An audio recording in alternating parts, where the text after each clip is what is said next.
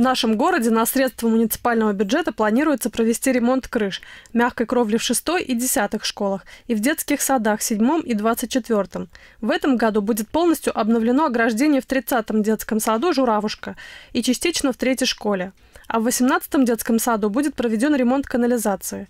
Кроме того, городской мэрией были выделены средства на приобретение спортивного инвентаря для образовательных учреждений и для текущего ремонта обновления оконных блоков во многих дошкольных и общеобразовательных учреждениях. Прежде всего, это детские сады. А, девятый сад, вот сейчас уже закончились там работы. Это 17 сад, 25-й сад, а, это 24-й сад, где старые оконные блоки заменены на новые. А, кроме того, это школы, это 10 школа, где заменили часть оконных блоков, и девятая школа. Вот основная часть оконных блоков меняется в девятой школе. В девятой школе планируется заменить более 60% всех оконных блоков к середине августа.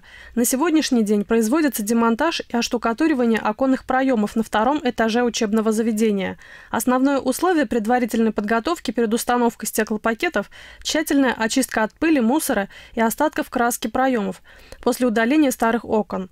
Это является залогом надежной и долгосрочной службы новых оконных блоков. Ремонт на втором этаже практически завершен, остались только уборочные работы. В общей сложности подлежит замене на данный, скажем так, момент 94 э, оконных проема. Э, работа осуществляется, скажем так, интенсивно. Бригады работают как монтажники, так и демонтажники параллельно. То есть э, качеством работы в данный момент пока удовлетворены.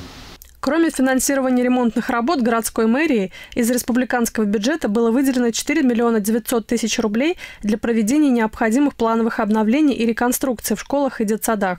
На сегодняшний день многие дошкольные образовательные учреждения практически готовы к новому учебному году. Все плановые ремонтные работы подходят к успешному завершению.